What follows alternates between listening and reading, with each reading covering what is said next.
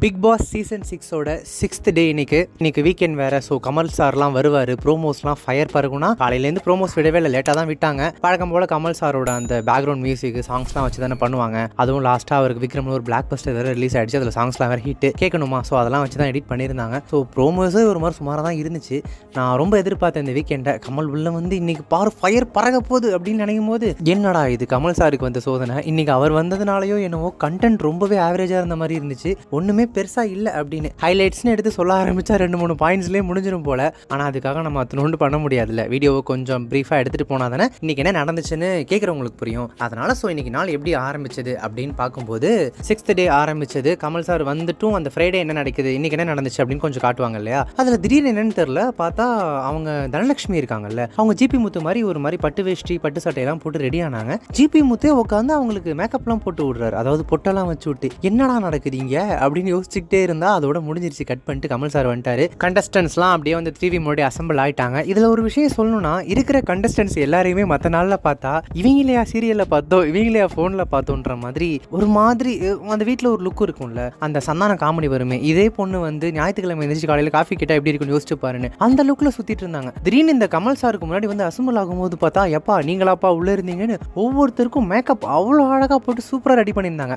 இத்தனை நாள் என்ன நினச்சிட்டு இருந்தேன் நான் மேக்கப் கிட்லாம் உள்ளே எடுத்துகிட்டு போகிறாங்க ட்ரெஸ்ஸஸ்லாம் அவங்கள்ட்ட இருக்குது ஸோ அவங்களே தான் அவங்கள ரெடி பண்ணிட்டு வந்து உட்காந்துப்பாங்க போல அப்படின்னு நினச்சேன். ஆனால் இன்னைக்கு ரெடி ஆகிட்டு வந்து உட்காந்ததை பார்த்தா உள்ள கண்டஸ்டன்ஸ் தாண்டி இந்த மேக்கப் மேனு காஸ்டியூம் டிசைனர் இவங்களாம் வேற இருப்பாங்க போல. ரொம்ப அழகாக ரெடி பண்ணியிருந்தாங்க. அதுவும் வந்து ஆயிஷா இத்தனை ஒரு மாதிரி சுற்றிட்டு இருந்தாங்க. இன்னைக்கு அவங்களெல்லாம் கொஞ்சம் நல்லா ரெடி பண்ணியிருந்தாங்க. அதுவும் மெயினாக சாந்தி அக்கா எனக்கு அவங்கள பார்க்கும்போது காலைல எந்திரிச்சு வந்தோன்னா தூக்க கழகத்தில் பக்கத்து வீட்டில் ஒரு அக்காவோ இல்லை ஆண்டியோ வந்து தண்ணி தெளிச்சு கோலம் போட்டுட்டு இருப்பாங்கல்ல. அப்படியே ஒரு மாதிரி தூங்கி விழுஞ்ச மூஞ்சோட எனக்கு அவங்கள பார்த்தா அப்படி தான் தோணும். இன்னைக்கு அவங்களெல்லாம் ஒரு மாதிரி ஃப்ரெஷ்ஷாக ரெடி பண்ணி உட்கார வச்சிருந்தாங்க. ஓவரால் அந்த இருபது பேரையும் அந்த லுக்கில் பார்க்கறதுக்கு நல்லா இருந்துச்சு. ஸோ அப்படியே தான் ஆரம்பிச்சது கமல் சார் வந்ததுக்கு அப்புறமும். ஸோ ஆரம்பிக்கும் போதே ஜிபி முத்துக்கிட்ட தான் ஆரம்பிச்சார் கமல் சார். போன வாரம் அவருக்கும் ஜிபி முத்துக்கும் நடந்த அந்த கண்டென்ட் மீமானது எல்லாருக்கும் ஞாபகம் இருக்கலாம். ஆதாமை பற்றி இவர் ரொம்ப அறிவு சார்ந்த விஷயமா ஒன்று எடுத்து போட அதுக்கு ஜிபி முத்து ஆதாமா அது யாரு? அப்படின்னு கேட்டது வைரல் ஆயிடுச்சு. ஸோ அதுக்கு பழி வாங்கணும்னு நினச்சாரோ இல்லை அதை எக்ஸ்டெண்ட் பண்ணணும்னு நினச்சாரோ தெரில கன்ஃபெஷன் ரூமில் ஒன்று இருக்குது போய் அதை எடுத்துகிட்டு வாங்கன்னு ஒரு டப்பாவை எடுத்துகிட்டு வர சொல்லி ஜிபி முத்துக்கு கொடுத்தாரு. அது உள்ள பாதாம் இருந்துச்சு. ஜிபி முத்து எடுத்து சாப்பிட போகிறப்போ இது என்ன என்னது பாதம் அப்படின்னு சொன்னோடனே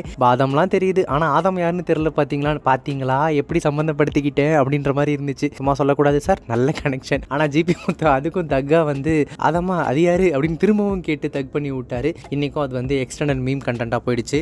இருந்தாலும் கமல் சார் வந்து விடமாட்டேன். இன்னைக்கு நானும் அப்படின்ற மாதிரி பண்ணிட்டு இருந்தாரு. அதாவது ஆதம் வந்து ட்வீட் போட்டுட்டு இருக்காரு அப்படி இப்படின்னு கொஞ்சம் நேரம் வள வளன்னு போச்சு. நல்லா தான் இருந்துச்சு. அதுக்கப்புறமா உள்ள வந்து ஒரு வாரம் ஆச்சு இல்லையா? ஒவ்வொரு கண்டஸ்டன்ஸையும் உள்ள வந்தீங்களே எப்படி இருந்துச்சு இந்த ஒரு வாரம் பிக் பாஸ்ல நீங்க வெளிலேருந்து பார்த்ததுக்கும் உள்ள இருந்து பார்க்கறதுக்கும் அப்படின்னு கேட்டுட்டு இருந்தாரு. அதுல ஜிபி முத்து சொன்ன ஒரு விஷயம் ரொம்பவே சுவாரஸ்யமா இருந்தது. என்னடா நம்ம ரிவ்யூவில் எப்போ பார்த்தாலும் ஜிபி முத்துவே பிரைஸ் பண்ணி பேசுற மாதிரி இருக்குன்னா யாரும் யோசிச்சிட வேணாம். யார் சொல்ற பாயிண்ட் நல்லா இருந்துச்சுனாலும் அதை நம்ம ரிவ்யூவில் மென்ஷன் பண்ணுவோம். ஸோ அவர் என்ன சொன்னார்னா வெளில இருந்து சாப்பாட்டை வேஸ்ட் பண்ற நிறைய பேர் உள்ள வந்திருந்தாங்கன்னா தான் அவங்களுக்கு சாப்பாட்டோட அருமை புரியும்னு சொன்னாரு. அந்த பாயிண்ட் ரொம்பவே வேலிடா இருந்துச்சு. அப்புறம் பிக் பாஸ் தான் தக் பண்றாருன்னு பார்த்தா கமல் சாருக்கு பேச சொல்லி கொடுக்கணுமா? அப்படியே மனுஷன் பூந்து பூந்து விளையாடுவார் வார்த்தைகள்ல. ஸோ மகேஸ்வரி எந்திரிச்சு நிற்கும் போது என்ன மகேஸ்வரி? போய் போய் முட்டிக்கிறீங்க போலே அப்படின்னு கேட்டிருந்தாரு. இதை நம்ம ஆல்ரெடி ப்ரீவியஸ் எபிசோட்லேயே அதுக்கு முந்தின எபிசோட்லேயும் மென்ஷன் பண்ணியிருந்தோம். அவங்க தெரியாம போய் கண்ணாடியில் மட்டும் இல்லை உள்ள இருக்கிற கண்டஸ்டன்ஸ் கூடயும் முட்டிக்கிறாங்கன்னு அதை தான் கமல் கிரேசி மோகன் ஸ்டைலில் அப்படி மென்ஷன் பண்ணி கேட்டாரு. வீடே சிரிச்சிருச்சு. அப்புறம் இந்த ரிவ்யூவில் வந்து அசீம் சொன்ன ஒரு விஷயமும் நல்லா இருந்துச்சு. வெளிலேருந்து பார்க்கும்போது உள்ள இருக்கிற கண்டஸ்டன்ஸ்லாம் என்னங்கடா சின்ன சின்ன விஷயத்துக்குலாம் கத்திக்கிறீங்க? சண்டை போடுறீங்க? அழுவுறீங்கலாம் இருந்துச்சு.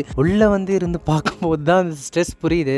நம்ம வேற வழி இல்லாமல் சுற்றி சுற்றி இவங்கள தான் பார்த்துட்டு இருக்கோம். இதை தான் ஃபேஸ் பண்ணிட்டு இருக்கோன்றப்போ எல்லா எமோஷன்ஸுமே கொஞ்சம் பெருசாக தான் பிளாஸ்ட் அப் ஆகுதுன்னு சொன்னது நல்லா இருந்துச்சு. தனலட்சுமி சொன்ன பாயிண்ட்டும் நல்லா இருந்துச்சு. வெளிலேருந்து பார்க்கும்போது என்ன இவங்க ஏன் இப்படி அழுகுறாங்க? எமோஷன்ஸை கண்ட்ரோல் பண்ண தெரியாதா? உள்ளே நடந்துக்க தெரியாதான்லாம் யோசிச்சிருக்கேன். உள்ளே வந்து நான் அதை ஃபேஸ் பண்ணும்போது தான் இந்த ரியாலிட்டி எவ்வளோ டஃப்பாக இருக்குன்றது எனக்கு புரியுது அப்படின்னு சொன்னாங்க. அசல் சொன்ன ரிவ்யூ கொஞ்சம் இன்ட்ரெஸ்டிங்காக இருந்துச்சு. அதாவது தெரியாத கொஞ்சம் பேர் கூட வெளில ஒரு ட்ரிப்பு போனால் எப்படி இருக்கும்? அது நல்லாவும் இருக்கும். கூட இருக்கிறவங்கள்ட்ட கொஞ்சம் பழகிறதுக்கான சான்ஸாகவும் இருக்கும். அந்த மாதிரி கொஞ்சம் இன்ட்ரெஸ்டிங்காக இருந்தது அவர் சொன்னது. ராம் ஏதோ ரிவ்யூ சொல்லும்போது அதுலேருந்து ஒரு பாயிண்ட் எடுத்து பிடிச்சி ஓ இங்கே ரொம்ப தனியாக இருக்கீங்களோ? அப்படின்ட்டு அவரை கலாய்ச்சது நல்லா இருந்துச்சு. நம்மளும் ஆல்ரெடி இந்த ரிவ்யூவில் சொல்லியிருந்தோம்.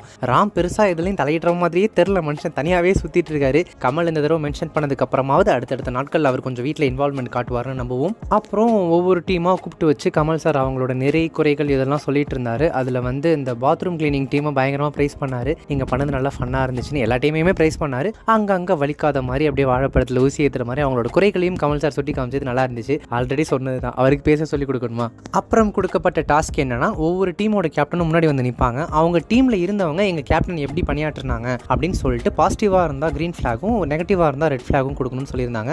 கதிர் எல்லாருக்கிட்டேருந்தும் க்ரீன் ஃப்ளாக்ஸ் தான் வாங்கினாரு. அமுதவானும் அப்படி தான் வாங்கினாரு. இதில் செம்ம ஃபன்னாக இருந்தது என்னன்னா ஜனனி வந்து நின்னுட்டு நிற்கும் போது ஜிபி முத்து தான் ஃபர்ஸ்ட் வந்து ரிவ்யூக்கு வந்தார். மனுஷன் வந்துட்டு படப்படன்னு ஏதோ மனப்பாடம் பண்ணதை ஒப்பிக்கிற மாதிரி ஃபர்ஸ்ட் க்ரீன் ஃப்ளாகை கொடுத்துட்டு ரொம்ப பொறுமையாக இருக்க நிறைய நிறைய பேசுகிற நீ எல்லாத்தையும் ஹேண்டில் பண்ணுறது விதம் நல்லா இருக்கு அப்படின்னு சொல்லிட்டு பட்டார்னு அந்த க்ரீன் ஃப்ளாகை பிடிக்கிட்டு ரெட் ஃப்ளாகை கையில் கொடுத்துட்டு ஆனால் என்ன இருந்தாலும் என்ன என் வேலையை முடிச்சுட்டு மற்ற டீமுக்கு ஹெல்ப் பண்ணக்கூடாதுன்னு சொன்ன பார்த்தியா அதை மட்டும் என்னால் பொறுத்துக்கவே முடியாதுன்னு சொல்லிட்டு திரும்பி போகும்போது ஜனனி ஒரு லுக் ஒன்று விட்டாரு.